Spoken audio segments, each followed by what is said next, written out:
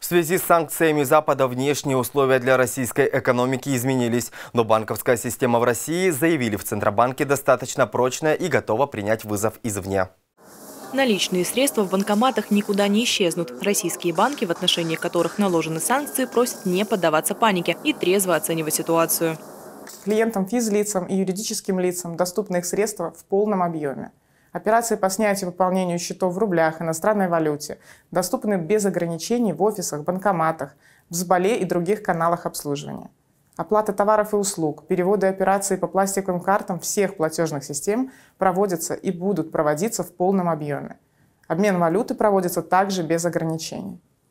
Сбербанк внимательно изучает новые условия работы в связи с объявленными санкциями в отношении корреспондентских счетов – но принятые ограничения никак не влияют на сохранность и доступность средств наших клиентов.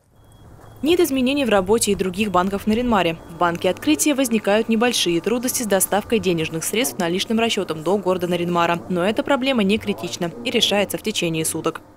Этого пугаться не нужно, да, речь идет именно про наличную какую-то валюту. Все банки уже сейчас по всей стране дополнительно заказали необходимые средства Поэтому все будет э, выдаваться в стандартном режиме и наладится вот буквально на днях. Совет директоров Банка России принял решение повысить ключевую ставку с 28 февраля 2022 года до 20%. Повышение ключевой ставки позволит обеспечить увеличение депозитных ставок до уровней необходимых, чтобы компенсировать возросшие девальвационные и инфляционные риски. Это позволит поддержать финансовую и ценовую стабильность и защитить сбережения граждан от обесценивания. Елизавета Кабанова, Василий Хатантейский, Наталья Дуркина, Антон Водряков, Владислав Носкин. Телеканал «Север».